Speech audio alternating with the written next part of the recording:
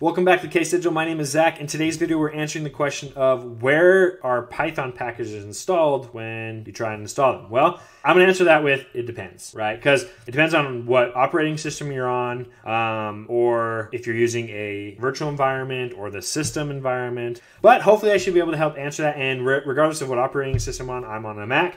I should be able to help guide you to the direction of where um, those packages get installed. So let's get right into it. So the first way to find out where your um, Python packages get installed to is first I need to tell you we're looking for the site dash packages folder. Now that's buried within all the Python installation area, and to find out where that area is on your machine, um, again, like I said, it depends. Like for right now, I have a virtual environment activated, and so when I'm using this, this will give me the location of where all the site or all the packages are getting installed within my virtual environment.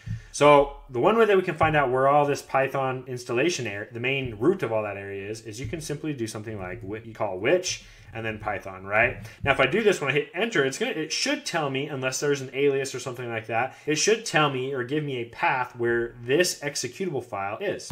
Now, in my case, I have an alias, so when I type Python, it just says Python 3. Um, so I can just say which Python 3, and then as you can see, it gives me the path to this virtual environment. But what you'll see is, so where I'm in this YouTube folder directory, which is this whole path here, and then I have the virtual environment folder, and then the bin, and then Python 3. There's the executable, right? So if I go and do something like, um, let's go and copy this line right here and come down here and we'll do CD and I'll give it that. What we'll do is that'll take us into the virtual environment area. Now, if I hit LS, you'll see it'll list out all of the main folders in here. Now, if you're on your root, and I'll show you that here in a minute, we'll do it with virtual environments first, but essentially now we're gonna go into the lib folder. So I'm gonna CD lib and I can do LS and you'll see Python 3 and I can go CD Python 3 or 3.9 ls, and then you'll see site packages. This is the folder that we're looking for. This is where everything's going.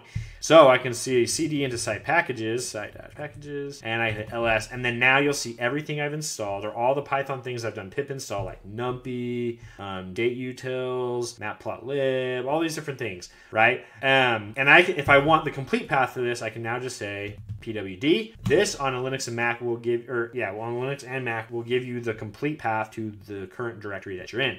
So this right here, in my case for this in virtual environment, when I hit pip install, this is where all my packages are going. So what if you're not using a virtual environment? I highly recommend that you do, but what if you're not? Let's talk about that right now. So what if we're not using a virtual environment like I mentioned before, and we want to get our system location of where it installs these packages? Like I said before, we're still looking for this site packages folder. Now let me go ahead and deactivate or turn off um, this virtual environment. You can see now that I'm out. So if I say, let's just reset and let's repeat that same process, right? Because ideally that's what should work. So if I say which Python, it tells me, oh, it's alias to Python 3 in my case, right? It may not be in yours.